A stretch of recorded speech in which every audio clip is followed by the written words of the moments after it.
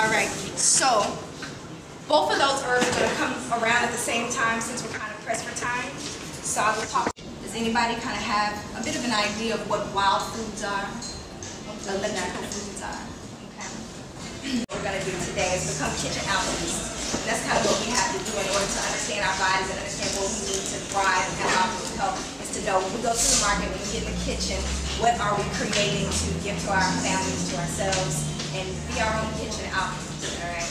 Um, because it, everything you put in your body will magically or medicinally affect you, whether it's for the good or for the bad. What happens, and, and this has happened for centuries, is aboriginal foods, original foods, nature's foods, creators' foods, are foods that were made by God.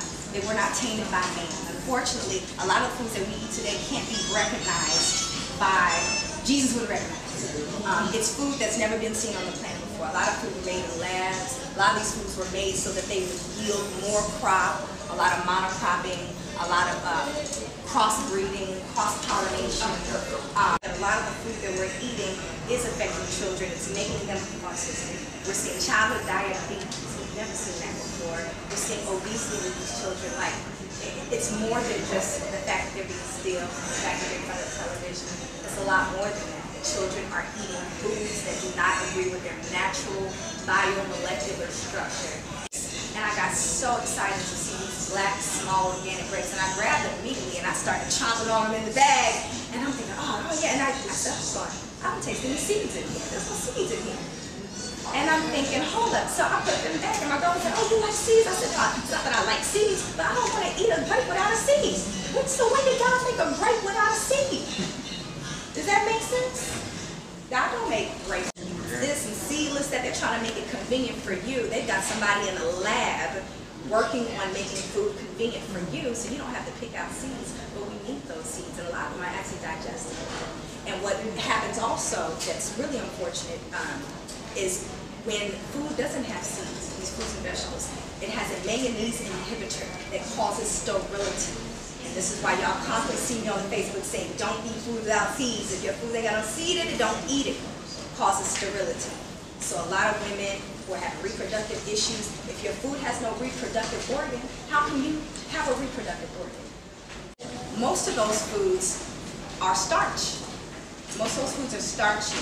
They are acidic all right? And this is how we get all this inflammation, inflammation, inflammation of the arteries, hardening of the arteries. Uh, uh, you're getting a, a, hardening of the blood vessels. You're seeing um, all types of all types of diseases that come from inflammation.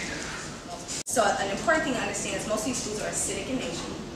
Um, even, even if it's a vegetable, it could be a fresh, genetically modified apple it's still going to be acidic in nature.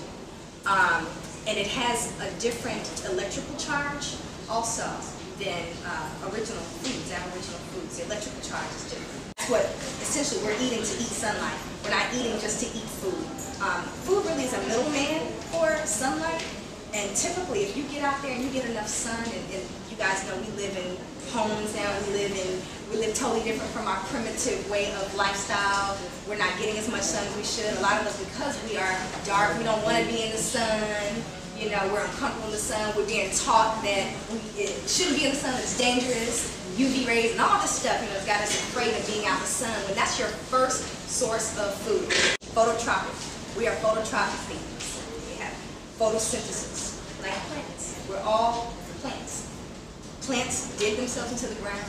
They're breaking down rock and turning it into minerals and sucking it up and putting it into minerals that your body can assimilate.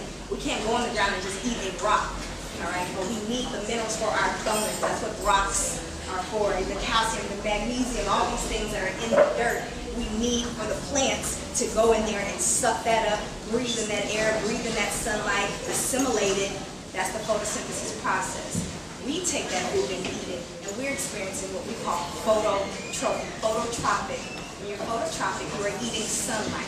And you are digesting that sunlight and therefore using it to animate your body, to heal your body. So there are some people who are experimenting with breatharianism. They're eating air.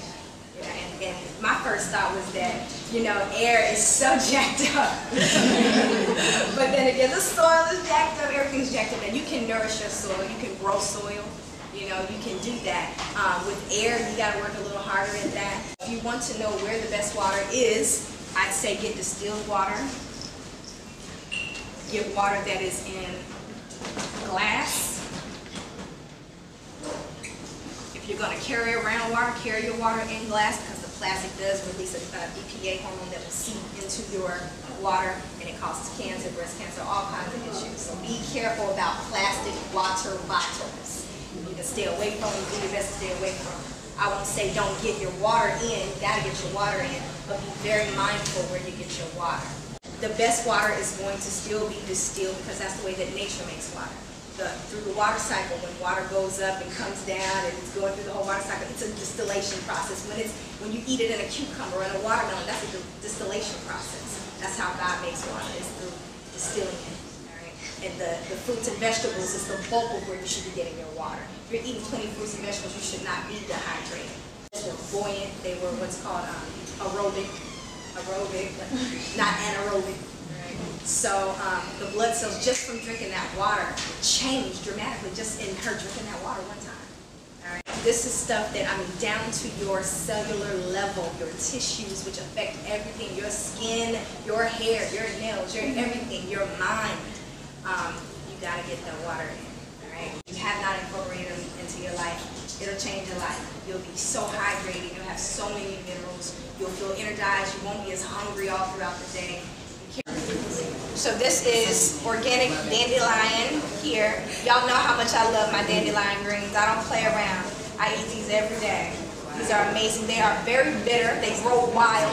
I know y'all see them outside. They're everywhere. And they're gangsters. And that's why we that's why that's why we need to eat them because they are so wild. Attend to. Um, wild foods don't have to be tended to like that. They grow, period. They grow in nature, period. They are wild. They don't need your attention. They actually will dominate any environment that you put them in. You put a dandelion around a punk, domesticated plant, it's going to get annihilated. You understand what I'm saying? It's a real deal plant, and it is meant to be uh, consumed. And um, it's meant to make you strong. Um, so we're going to the bitter taste. But as you know with EOB, bitter is good. Bitter is the opposite of sweet. So bitter is going to teach, retrain your taste buds to like it. You know, it's going to retrain it because really it's not you that doesn't like the bitter. Trust me. If you go to some indigenous people and hand them a lollipop, they're probably going to spit, you know, ah, it's too sweet. Their bodies don't understand that. All right? But because we've come into this world eating salt and sugars constantly, our bodies, what the parasites want, sweet, it's not you that wants the sweet food, it's the parasite, it's the yeast, it's the fungus, it's, that's what wants the sweets. So I don't, I don't, my, my godchildren say, well, I don't like it, Ahki, I don't like this, I don't like, I said, you don't know what you like. Because you don't, your, your taste buds have been hijacked. You don't know what you like. You don't even have a mind about what you like. You're thinking through the mind of a parasite through yeast because like attracts like. If your body's filled with candida, and most of us are filled with yeast, candida, sugar, that's all we eat. For breakfast, potatoes, breakfast, lunch, cheese, bread, meat, every day. Mm-hmm. That's it, breakfast, lunch, and dinner. It's another source of a bread, a meat, a cheese, a starch, some grease. That's it, salt, sugar, that's it. So when you eat like that for so many years, even with myself, I've been off of it for maybe 14, 15 years, but still, it's so much a part of us for generations that you still have an aversion to certain things. So your taste buds will change. So don't worry about what you don't like today. You say, I don't really like vegetables like that. Don't worry about that. It's not true. You don't know what you like. You're going to learn about what you like as you keep, your body changes. Everything's going to change. Trust me. All right, so you'll start to like oh, this, this concept that we've been given from the meat packing industry through commercials. You know, they hire all these models, eat a burger, eat, drink the milk and all this. If, if, if, it was all that, they wouldn't have to hire all these people to do this. This is ridiculous. Um, black sesame seed on top of everything. Your salads, your stews, your this, your that. Find creative ways to get it in, you know? And just pour it off. Give it to your children. Give it to your husband, your mother. Keep those, or keep yourself hydrated. All right? All right, so I'm about to get my blend on, y'all, so we can taste some some elixirs, and we're gonna open up all the doors. We're gonna spread everything out, and we're gonna turn into a big old party. And DJ's about to come in, so I do consultations. This is my life. This is all I do. I uh, nutritional consultations. I help you to transition from a sad diet to a healthy diet. So if you need some counseling, if you need private coaching, you need private classes, if you need um, in-home cook, private cook, catering lessons, etc., you can come talk to me about that. All right, and I'll have my business cards for you guys, 1-800 number, all of them. All right? Yes, I got you. All right, so place it comes out and they do a little test. Bam, alkaline. No, God don't run water over eggs. All right, so for women who are healing wound issues, reproductive issues, watermelon is really, really good. You can mix watermelon with some of the other things that we're uh, going to do today. Watermelon, any of the red fruits, um, hibiscus, sorrel, red raspberry, red clover, um, watermelon, all those things can come together and create a really powerful tonic or elixir for, uh, put it off in the fridge, take two tablespoons of it, throw it in your smoothie every morning. Right? Throw it in your desserts, make it pie filling, whatever. Ice cream. all right, so that's coming around. And I guess we'll move on to the next one, which is hemp seeds. How many of you guys are familiar with hemp seeds? Dinner, they are vegetables, uh, salads, I throw on top of all my. You can get it from Seven Island, you can get it from uh, Farmers Market now, carries it in bulk. You get it at Whole Foods. So, um, the sea moss is still coming around, I think the hibiscus is probably passed around. Um, The vibratory frequency to emit from it and see the light around see the aura. And that's what we want. We are electrical beings. So at the end of the day, you need electricity. When you're eating all the starchy, heavy, greasy, all those things are dulling your frequency.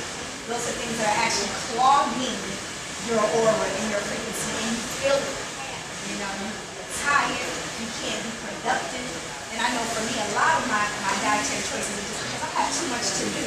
I can't afford to sleep in the middle of the day or pass out with the cow nut. You'll see this huge ray of light coming off that cow to stimulate your mood. Hey, a little bit of nettle because we've got in the raspberry leaf because we've got a lot of different things to taste. Thank you. We can pop these out. We're gonna put it in and pass it out. That's why it's really good for reproductive organs, reproductive issues. Um, a lot of midwives will. I'll pass around the uh, raw raspberry leaf as well. Uh, she's got three. She's, this one just, Yeah, and I'm just gonna pass it around in the bag, just so you can visually know what it looks like when you're out and you see it. Uh, it's very fluffy. This is a wonderful way to get your vitamins and minerals. And I put it in something like this here. And you can find these at TJ Maxx, Michael's Ross, you know, wherever. Put it to the side. I got this for $19.99 at Starbucks one day. I was just sitting there. Was like, oh, it's $19. Look at that. So, why not? So, um, this is great just to uh, steep your herbs overnight, set it off to the side,